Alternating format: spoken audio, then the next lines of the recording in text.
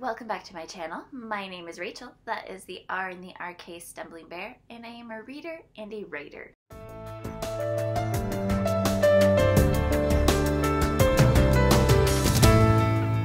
I'm back with my, I think, week 45 wrap up. I've lost track of my weeks. So something fun happened last Saturday when I typically film. My granddaughter got to come over and have a grandparent day, and that was a lot of fun. She's three months old, and since mom has given me permission to put pictures of her up, here's one for you of her sleeping. I missed baby stage when I married my husband, and so I did not realize that three months old still sleep a lot. I was more going, oh, okay, what are we get, what are we gonna do? But it was a lot of fun, and she totally adores my husband. Every time he would walk into a room, she would track him, and then every time he held her, she fell asleep like immediately. She just very much relaxed with him. It was really, it was really, really cute to see. And that is my week announcement. I'm still on a glow that, you know, from the grandkid. I know that makes me really old. I am aware of this. Anyways, getting into the book wrap up, I finished one book this week, and that was Redshirts by John Scalzi. Scalzi's sense of humor typically works for me, and it was working for me in the first part of this book until we got to the plot twist. Everything fell flat after that. I just I didn't care. I didn't care how they were to solve it. I the plot twist kind of ruined like the book for me, if that makes sense. Before then I was kind of curious what's going on, what's happening. And then the plot twist was just like, eh. And I'm like, but that has nothing to do with their ship or what, what there's like the time that they're in. It, yeah, I mentioned in a buddy read group that I'm in that I didn't really care for it. I mean, kind of disappointed me. And they went and looked at my rating. They're like, "You still gave it four stars?" I'm like, "Well, I use CAWPILE, and it tends to rate things higher because it makes you look at different elements of the book, and it's not a bad book. I personally am disappointed, and since I don't rate purely on enjoyment anymore, yeah, I, it, it was rated higher than what I would have done in like 2012 when I first joined Goodreads. But now I read it. Not my favorite by him. and then I continue to work on Bring Me a Unicorn. This has ended up being like my workbook or my like I'm going around errand book, and so I'm just reading a little bit at a time and enjoying it. And because it's nonfiction, it makes it really easy then to pick up and write when I get home. I also picked up The Spare Man by Mary Robinette Kowal, and one of like the terms that made me really interested in it was the Thin Man, which I have read the book and I love the movies with William Powell and Myrna Loy, so that really got me interested. And I can see a little bit of the inspiration from that, but it has taken a very different jump. I'm not certain how well I am enjoying this right now. In what's happening, the characters feel very true to themselves. Just not my favorite way to approach problems, if that makes sense. I guess in my science fiction, I'm not so much looking for reality and it feels more realistic. I'm going to continue reading it, give it a little bit longer to see what I am thinking. I guess I didn't tell you what this is about. This is about a couple who are on their honeymoon and a murder happens and the husband gets accused of the murder. And so now the wife is working to solve the murder.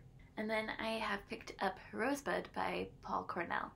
And this is where I'm going. Maybe I'm just not much in a reading mood this week because this is a very short novella and I've tried to read it over the past four nights and I've fallen asleep three nights reading it and then last night my husband started talking to me, so I couldn't continue reading. But this is another science fiction, like five artificial intelligences, I believe, that are in a ship and they're surveying a section or patrolling a section of space, and then an unidentified object comes, and now they've gone to investigate it. And I'm not sure it's really jiving with me. I'm already halfway through. I'm going to finish it. And that is my reading wrap up for my writing wrap up, work drama and life drama meant that I did not write very much this week, only a little bit more. There was some life drama that happened last November, so I was I'm disappointed that drama has interfered again. But at the same time, as I am working on a much bigger story, and I knew that 50,000 words wasn't going to finish it, I am at peace with what I have been able to write because I know that because I knew that the book itself wasn't going to be finished at the end of the month.